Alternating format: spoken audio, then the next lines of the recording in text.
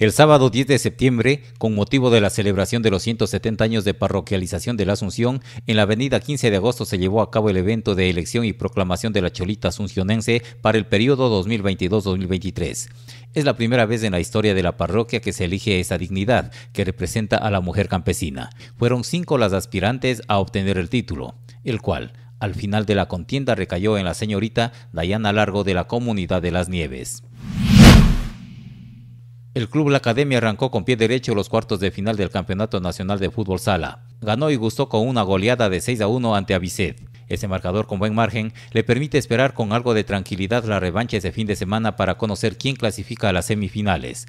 La Academia se eliminaría solo si pierde por 6 goles de diferencia y si pierde con 5 irán a los penales escenarios posibles en el fútbol sala, pero muy difíciles en estas instancias definitorias, por lo cual la academia tiene medio pie en las semifinales. En el barrio Héroes del Portete se dio este hecho el pasado 1 de septiembre a las 16 horas aproximadamente. La persona que nos comparte las imágenes asegura que es un volquete de la prefectura de la SUAY. Dijo además que frecuentemente invaden vía en este sector. Se pide precaución y respeto a las señales de tránsito por parte de los conductores, ya que esto podría causar accidentes. Y se pide además control y sanción por parte de las autoridades encargadas de vigilar el tránsito en la ciudad. Un joven deportista resultó herido en su extremidad inferior izquierda el sábado 10 de septiembre en un incidente ocurrido mientras se desarrollaba un partido de fútbol sala preliminar al campeonato de fútbol sala nacional entre la Academia y Avicet.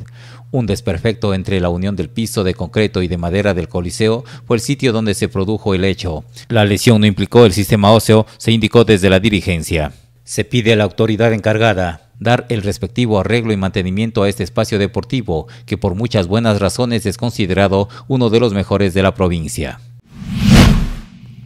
Cientos de volquetes a toda hora circulan por Girón cargados de materiales pétreos. Muchos lo hacen cumpliendo las normas de tránsito y seguridad exigidos, pero muchos no. Lo hacen sobrecargados con el inminente peligro de ocasionar algún accidente. Prueba de ello es el material derramado la semana anterior en la avenida Claudio Víctor Vallejo y Jorge Araujo. Control a toda hora es necesario.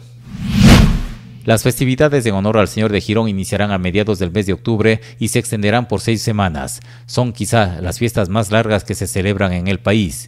Para este año se ha tomado resoluciones como el evitar el maltrato a los animales, despeje total de las calles por donde pasará la procesión, entre otros puntos.